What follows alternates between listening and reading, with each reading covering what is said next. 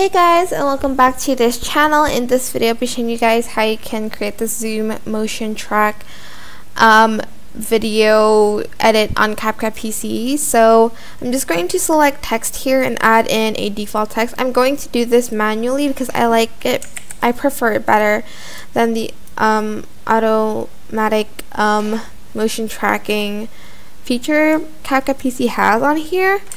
So I'm just going to type in an O or like a dot to follow her face. I'm just going to do it on her nose or like a dot. Maybe that's that's a little bit better.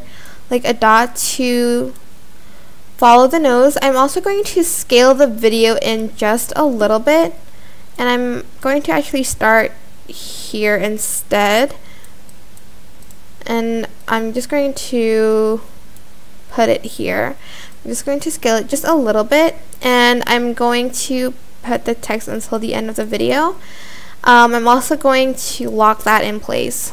Um, so I'm then going to put a keyframe here and then I'm going to start moving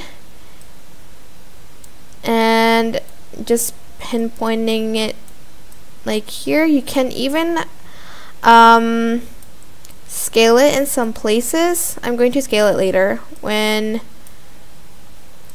like here maybe I'm going to scale it just a little bit. And then I'm going to just keep moving. And keep moving the video around like on this part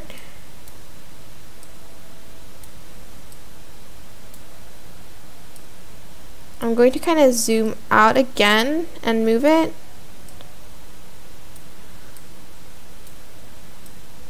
And again here. And here I'm going to again scale it out a little bit.